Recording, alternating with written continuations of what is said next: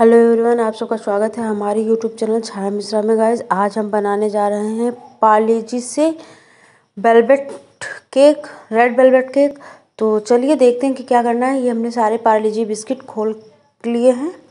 दो दो रुपए वाले हैं तो इसमें हमने दस पैकेट ले लिए थे। और ये देखिए, तोड़कर मिक्सी में डालकर हमने इनका बना लिया है पाउडर आप इसे छान कर भी ले सकते हैं। देख लें, इसमें गांठें ना हों। और ये देखिए, अब हम पेस्ट बनाते हैं, उससे पहले हम अपनी कढ़ाई को रख देते हैं हुई हीट होने के लिए। ये देखिए, इस तरह का ले लेंगे एक स्टैंड। तो या इस तरह का स्टैंड ले लेंगे।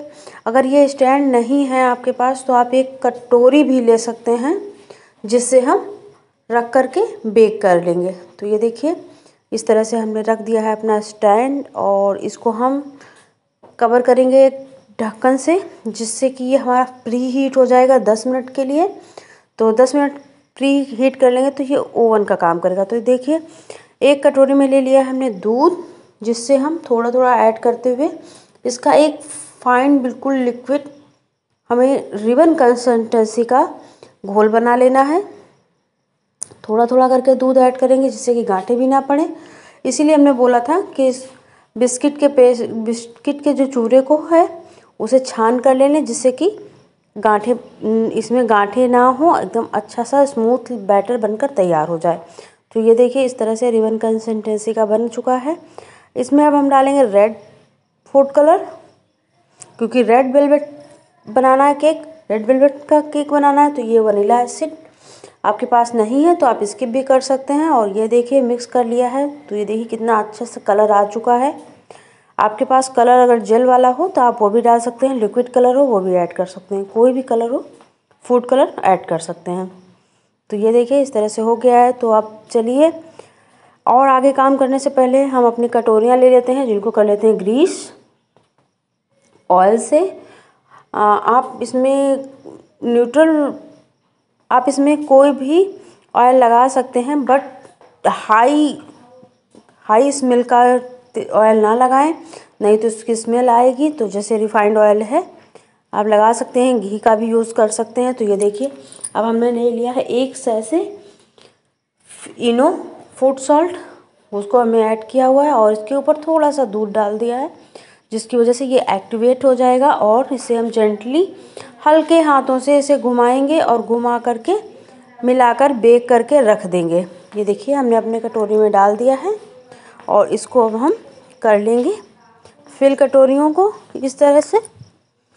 तो इसे फिल कर लिया है, देखिए, अब हम करेंगे टैप, जिससे कि इसमें जो एयर बबल, बबल्स वगैरह हैं, वो निकल जाएँ। टैप कर देंगे इसको इस तरह से और फिर अपना बेक करने के लिए रख देंगे। बीस मिनट के लिए। गैस पंद्रह मिनट के बाद हम इसको चेक भी कर लेंगे एक बार कि हमारा इसकी ये पूरी तरह से कुक हो गया है या नहीं? अगर नहीं होता है कुक तो आप पाँच मिनट के लिए और छोड़ दें। तो ये देखिए, हमने रख दिया है कुक होने के लिए। तो ये आप देख सकते हैं, आराम से ये कुक होगा। फ्लेम को हमेशा धीमा ही रखें, बहुत तेज़ हाई फ्लेम पर रखेंगे तो ये जल जाएगा और कुक भी नहीं होगा अच्छे से। तो इसलिए हम धीमी फ्लेम पर पकाएँगे। तो ये देखिएगा हमारा अच्छे से कुक हो चुका है। पंद्रह मिनट पर हमने देख लिया था। तब थोड़ा सा कम था कुक होना। बाकी था, इसलिए हमने पाँच मिनट और रख लिया। तो ये अच्छे से कुक हो गया है। देखिए नाइफ़ डालेंगे इसके अंदर। और इसको अब हम चेक करेंगे। तो ये देखिए, बिल्कुल क्लीन नाइफ़ निकली है। तो इसका मतलब हमारा केक रेडी हो चुका है। और इसे हम पाँच मिनट के लिए ऐसे ही छोड़ देंगे। इसके, इस पर।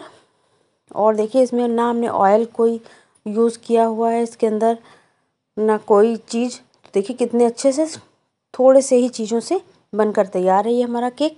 ये देखिए, हल्का सा टैप करने पर ही निकल आ रहा है। अच्छे से कटोरी केक और इसकी आप जालियाँ देख सकते हैं, स्पंज देख सकते हैं। बहुत अच्छा सा ये देखिए, सारे केक हम आपको दिखा रहे हैं। चाहें तो वीडियो कट कर सकते थे, मगर हमने सोचा, हम आपको दिखा दें आराम से कि सारे देखिए हल्का सा टैप किया कोई कोई केक तो ऐसा भी है कि जिसको हमें टैप भी नहीं करना पड़ा। आराम से निकल आया तो ये देख सकते हैं, सारे केक निकल चुके हैं। तो चलिए, इनको रखते हैं साइड में और हम दिखाते हैं आगे। एक चीज़ और गाइड इसमें हम दिखाएँगे आपके पास, अगर बीप क्रीम नहीं है, तब केक को कैसे डेकोरेट करें? तो ये देखिए, दूध की हमने ले ली है मलाई, जिसको हमने ठंडा करके ऐसे ही फेंट लिया है हल्का सा थिक कर लिया है, बस। इसको ही हम, इसी से हम करेंगे ग्रीस।